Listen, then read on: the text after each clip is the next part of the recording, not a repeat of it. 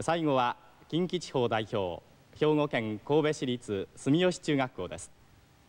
課題曲は山上道夫作詞池部慎一郎作曲「時は流れても」指揮は山口秀樹先生。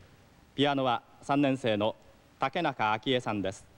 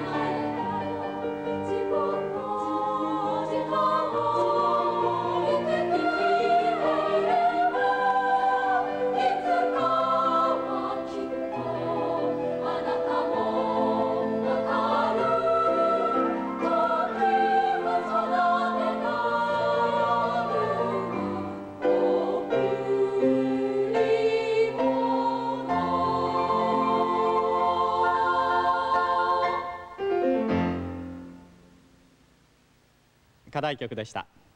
では住吉中学校の横顔をご紹介します。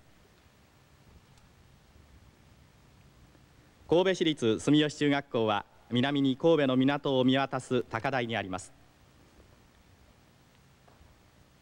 各学年11クラス。全校生徒1400人という兵庫県内では規模の大きい学校です。全国コンクールには今年初めての出場。学校の創立40周年に花を添えました。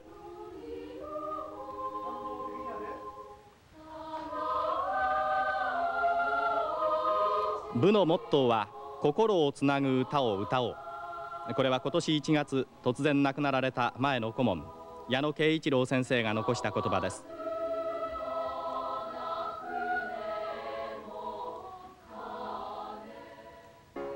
コンクールでは女性三部合唱の曲を歌いますが実は男子生徒が3人参加しているんです。